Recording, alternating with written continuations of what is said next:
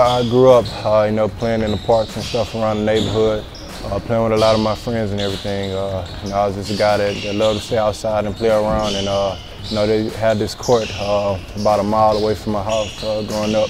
And you know, I used to walk there and play a lot there, and you know, play with a lot of older guys. When I went into high school, I wasn't really that good.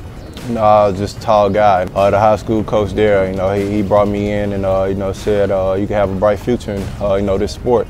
Uh, you just got to put your mind to it and uh, dedicate yourself. And, uh, you know, that's what I did. you know, I listened to him. I worked it real hard in practice.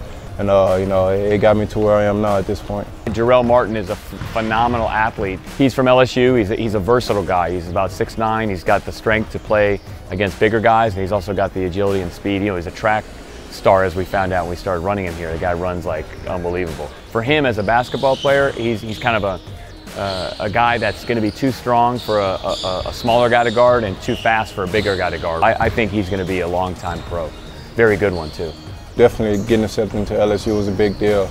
Uh, for me, you know, knowing that was my hometown and everything, uh, you know, I can go and play there. Uh, my family and friends will be able to come out and support me. Jarell is just a tremendous natural athlete, and he anything you, you show him something one time and he immediately gets it. He's a natural mover. Yeah, Jarell's done great. He's gotten a lot stronger. His conditioning was really down when he came in. That's something we've really focused on, gotten a lot better. No, they're doing a great job here at Impact. Uh, you know, with the lift, uh, Tyler, he's definitely giving us you know a hard time up here, but uh, you know they definitely pay off. You know, LSU is like a home school. It's a second home for me. So uh, that played a big decision, but uh, you know, I had to look at it from uh, my family standpoint. You know, uh, growing up in a single parent home, uh, and my mom, she struggled a lot. And uh, you know, that, that was my motivation, uh, you know, to be the best player I can be so that I can take care of my family.